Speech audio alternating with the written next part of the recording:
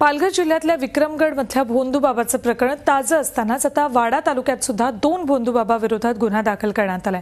पोलिसांचा शोध घेतात वाडा तालुक्यात तुसे गावातले कांतीलाल देशमुख आणि नंदकुमार देशमुख अशी या भोंदूबाबांची नावं आहेत. पंचवीस वर्षाहून जास्त काळ दारू सोडवण्याच्या नावानं ते लोकांची लूट करत होते. व्यसनमुक्ती केंद्राच्या नावानं सुरू केलेल्या त्यांच्या आश्रमात आठवड्यातून दोन दिवस राज्यासह परराज्यातूनही लोक यायचे.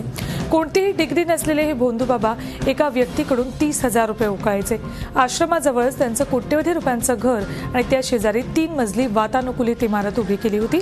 एका रुग्णानं केलेल्या तक्रारीनंतर पोलिसांनी ही कारवाई केली.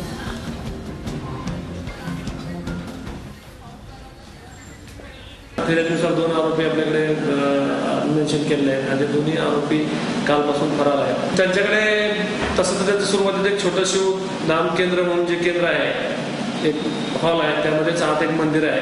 त्यानंतर बाजूला त्यांचा बंगला आहे मोठा बंगला आहे. त्यानंतर आता त्यांनी परत एक तीन मजली बिल्डिंग बांधलेली आहे की ज्याच्यामध्ये हे व्यसनमुक्त केंद्र त्यांना चालवायचं आहे. अशा प्रकारची त्यांची प्रॉपर्टी त्या ठिकाणी आपल्याला दिसून आलेली आहे.